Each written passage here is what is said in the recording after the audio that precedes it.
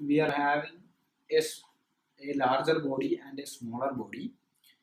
And uh, the smaller body is having a area a1 and the energy falling per unit area of this small body is taken as eb energy falling per unit area means this larger body is radiating energy out and that energy is falling on this smaller area.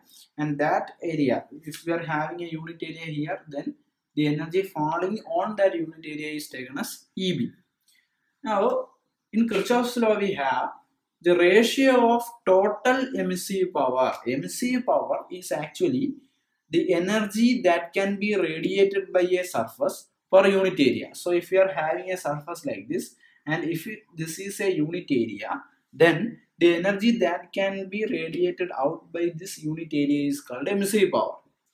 That energy to that of absorptivity. Absorptivity you will say. Because of so emissive power to absorptivity that ratio for different material is same. That means if you are having a small body say a1 and small body a2 and we are finding e by alpha for both of these objects then they will be same. That's all. Here absorptivity means suppose say that in this material some radiation is falling so a part of this radiation that have fallen on this material will be absorbed by this material.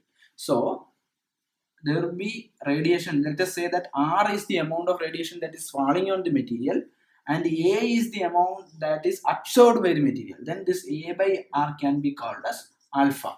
Or alpha denotes the fraction of the radiation that is absorbed by the given material.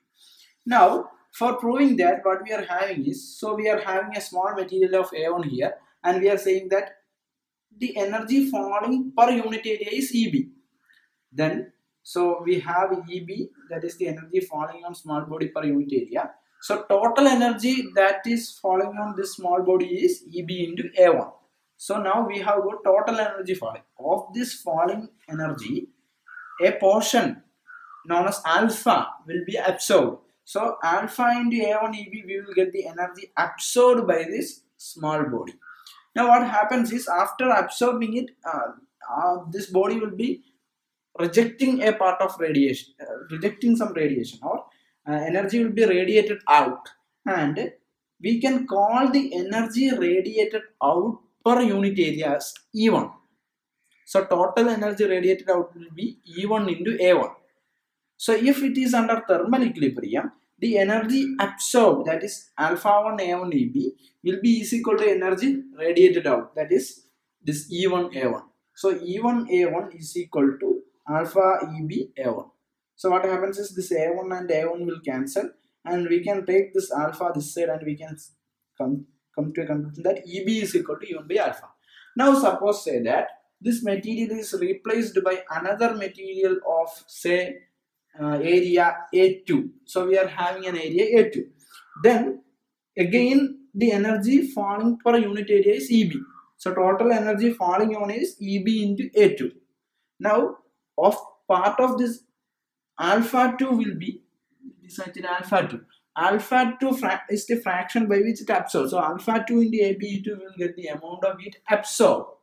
Now let e2 be the energy that is radiating by this second small body that is the present body a2 that e2 be the energy radiated per unit area. Then total energy radiated out is e2 into a2 but we know under thermal equilibrium energy absorbed will be energy radiated out. So alpha 2 eb a2 is equal to e2 a2 from which again we will equate a2 and a2 will cancel and we will get eb is equal to e2 by uh, e2 by alpha 2 already we have obtained this one eb is equal to e1 by alpha 1 we have obtained that.